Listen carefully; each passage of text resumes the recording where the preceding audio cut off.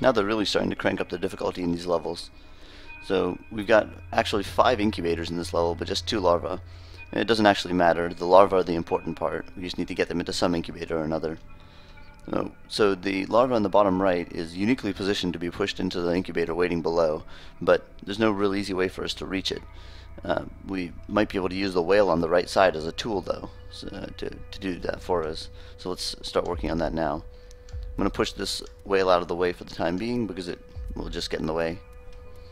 I'm going to freeze so that I can walk across here, uh, across the, the whale here.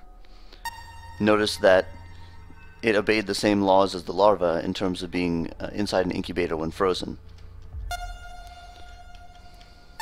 And we'll continue pushing this down. And we'll use this to push the, the larva below and drop it off the level. So this this could be good unless we need it later. Let's assume we don't. Now let's uh, get the other larva in position to be pushed across the gap.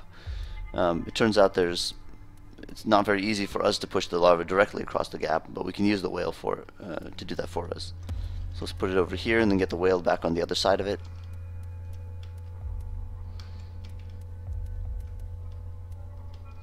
No need to freeze this time. We just simply push it. And the level's not done because we need to drop this off the level. But we're almost there.